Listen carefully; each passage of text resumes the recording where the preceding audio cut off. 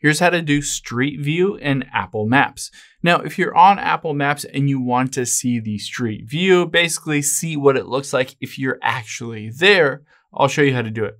So let's open up Apple Maps and this works for anywhere. Basically, I'm just gonna go into New York City here and tap on a random street and show you the street view. So let's just zoom into Manhattan here and you can see Times Square. If I wanted to get Street View right there, all I have to do is tap and hold my finger, or just tap my finger and hold it down so that I drop a pin there. And you can see after I drop a pin, of course you can have directions to there, but you can see right here as well, there's a little binoculars with what looks like a street view. So I can tap on it and it pops up with the street view version. So it says you dropped a pin right here you can basically go all around. You can see all of the buildings, Broadway, all that stuff.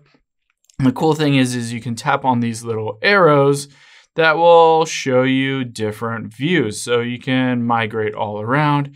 You can double tap down a street and you'll see that it will take you along that street.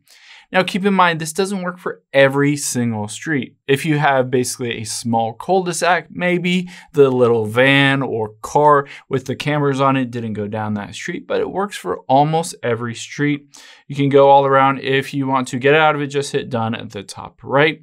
And then if you wanted to do it anywhere else, you can again just tap and hold your finger, tap and hold there, Let's tap and hold. There we go. And then hit drop pin and do a street view.